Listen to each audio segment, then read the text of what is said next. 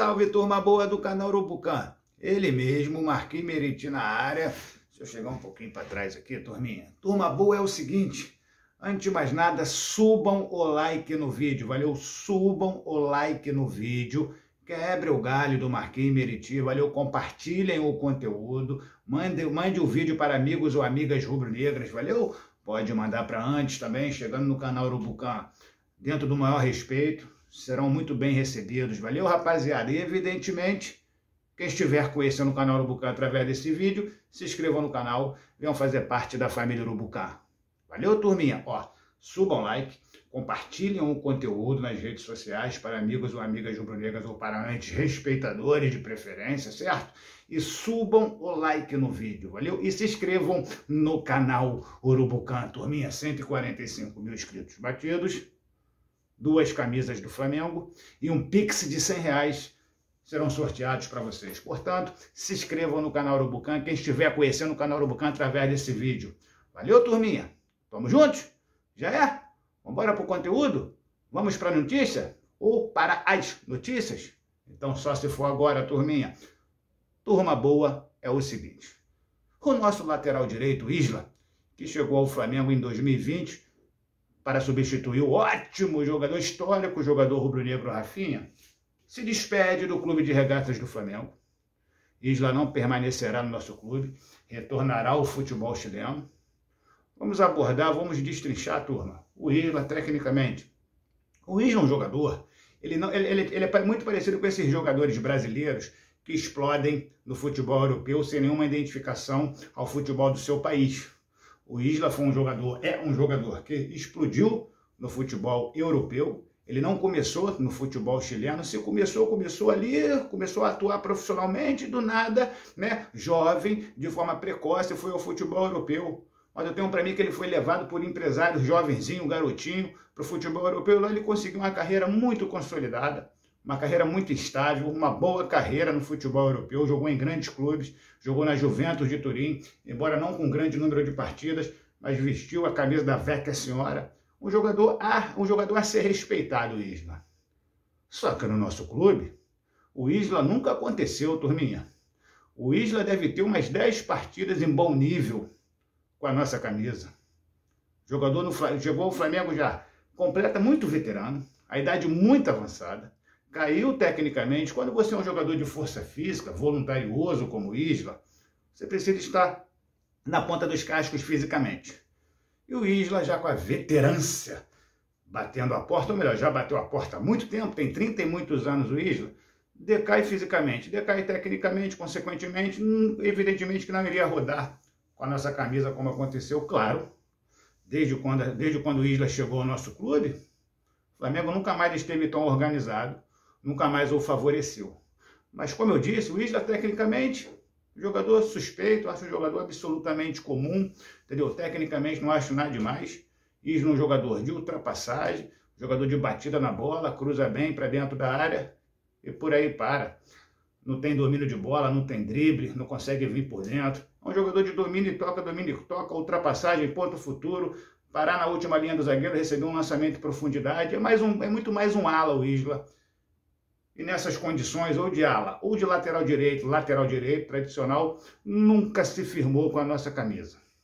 Portanto, Isla deixa o Flamengo, retornará ao futebol chileno. Infelizmente, ele não aconteceu com a nossa camisa, turminha. O que eu tenho a dizer ao Poçante Isla? Boa sorte ao nosso ex-lateral direito, que consiga encerrar sua carreira em bom nível no futebol do seu país. Não é isso, turminha? Concordo? Não vingou com a nossa camisa, mas sempre se dedicou, deu aquela rateada fora de campo no carnaval, lembra que ele saiu para uma balada e tal, mas no, no, no frigir dos ovos se comportou bem no Flamengo, o Poçante Isla, infelizmente, tecnicamente não contribuiu com o nosso clube, não rodou com a nossa camisa. Com a saída do Isla, ficaremos com Mateuzinho e Rodinei. Temos o Wesley, menino da base, mas ainda muito verde. O Flamengo vai precisar contratar um lateral direito para ser titular. Mateuzinho, muito bom jogador de futebol, mas muito irregular, marca muito mal, muito distraído. O Flamengo precisa contratar um lateral direito. Especulações de Montiel, a que chega ao nosso clube. Ótimo jogador, não conheço a fundo, mas eu debatendo, né, é, é, é, interagindo com a turma do nosso chat do canal Urubucana Live de ontem, a grande maioria dispararam com o Montiel, ótimo jogador de futebol, está fedendo a peixe no futebol espanhol. O Flamengo poderia tentar contratar, de repente até está. Aliás, o Flamengo tenta contratar o Montiel, mas o preço é salgado para trazer esse ótimo lateral direito para cá. Mas não precisa ser exatamente o Montiel, existem outros bons jogadores também. Tem até um zum, zum, zum de Daniel Alves, hein? Se quiserem, respondam aqui no chat também. No chat e nos comentários, valeu?